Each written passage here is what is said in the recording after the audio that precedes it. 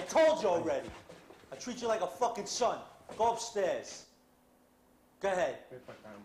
Here, twenty-four thousand dollars. Thank you. Excuse me. Hey, Si, what's up?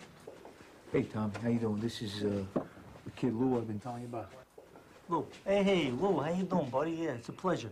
I'm sorry to hear about your head, you know, but uh, those things happen, you know. Listen, what are you gonna do? You know, those fucking state fucks, they don't care about anything else. They're looking out for their own jobs, you understand? They're a bunch of working stiffs. Hey, these They don't- fucking cocksuckers used to work for us. Shut up, Jimmy. I mean, there's nothing you can do about it anyway, you know what I mean? You know, don't think they're protecting your life. I mean, saving you from dropping dead from some million to one punch. I mean, it's not gonna happen. They, they're gonna let you die a slow death. You know what I mean? Oh, Lou, I love fighters. Let me tell you, when I was a kid, my old man used to tell me about all the old fighters, you know, and how they used to be. When they weren't fighting for a buck, they weren't fighting for money. They were fighting for glory. They were fighting for honor. And for a street kid like me, I hear these stories about Gentleman Jim Corbett, and that inspired me. You know? Yeah.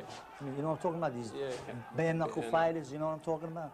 Yeah. And I look at you and I see the same thing. Uh, you inspire me. And I think you got a long way to go. You know what I mean? Do you understand what I'm Yeah, telling yeah, yeah, Okay. yeah, All right, listen to me. I want you to go upstairs, have a good time, all right? Your glory days are far from over. We'll talk to you in a little bit. I want to talk to this guy right now, okay? Go ahead, go upstairs. Come on.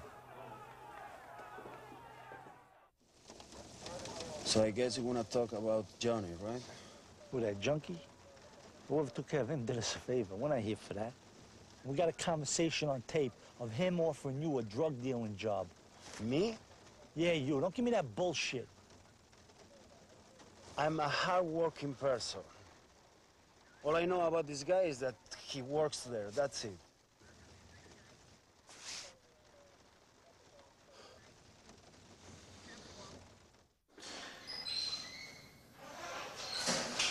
I can't believe we got company to smoke a fucking cigarette, man. You see that hot chick coming down the hall, man? Yeah, I think she's the one we got to interrogate. I wouldn't mind interrogating her. Yeah, okay, listen, um, I think it would be better if you waited in the car because, you know, Ah, when you interrogate people, they get nervous and they don't want to talk. We don't get shit. We haven't solved the case this whole year. All right? And I hope she's got some clues because I don't want to end up behind a desk. So can you just, can you just wait in the car? Come on, let's go, because I don't want her to leave. I don't want to leave either. Don't even fucking think about running.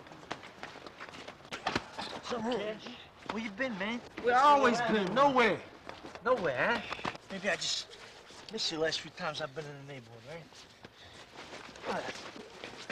Or maybe you've been ducking me, man. Come on, Anderson, how that sound, man? Me ducking you. You know, that's what I like about you, Cash. You're wit. You're almost poetic, you know? None of that. Fuck you, motherfucker. You know what I'm saying? Shit that I get from your competitors. But I digress. I brought you something, man. Look, it's a Rolex. And you're the first person I showed it to, man. What is it? Is that, is that an R, man? That's an R, isn't it? What do you think it's worth, man? Four, five hundred dollars? About five, yo. That's it? It's that easy? They told me you were getting soft in the old age, Cash, but I didn't want to believe it, man. Oh, Shit, you all right, Cash? Man, what's up with that, Cash? You all right? You fucking stumbling and shit? Militia, you better check that, man. Clown motherfucker. The Western Union don't open up till 9 o'clock. 9 o'clock. You sure? Yeah, I'm sure. It said 9 on the, on the sign. So, we wait, that's all. Wait here? Yeah, it's the only Western Union. They gotta come here. Okay. Want a kiss? Yeah. No thanks. Sure? Yeah, I'm sure. I'm sure. Thanks.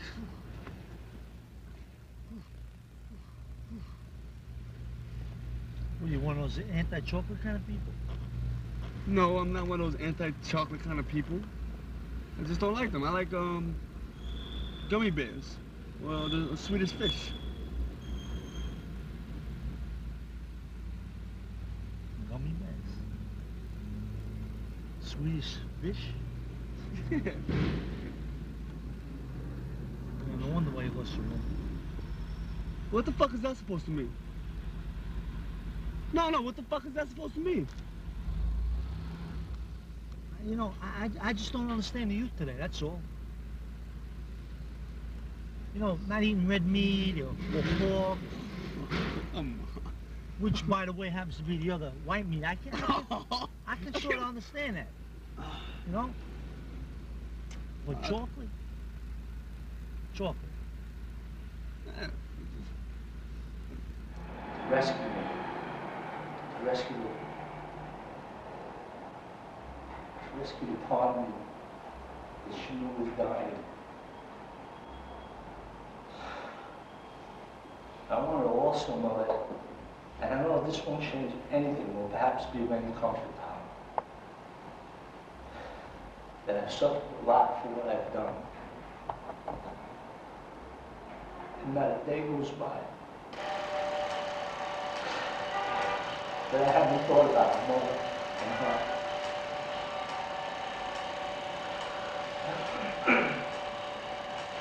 You know, all I could hope for is that she understand and one day, I mean, just forgive me.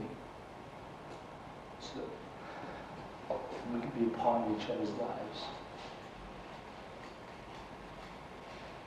And together, I and my mother